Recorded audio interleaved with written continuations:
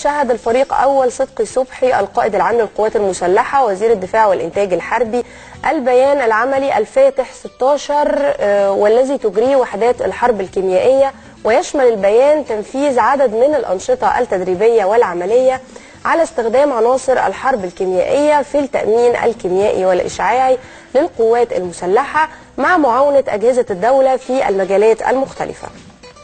كما شمل البيان أيضا عرضا للأجهزة والمعدات التخصصية الحديثة التي زودت بها إدارة الحرب الكيميائية وكيفية التعامل معها واستخدامها أيضا بمهارة عالية وبمعدلات زمنية قياسية أظهرت المستوى التدريبي المتميز في التعامل مع الخواص الفنية والتكنيكية للأسلحة والمعدات وتحقيق أقصى استفادة منها.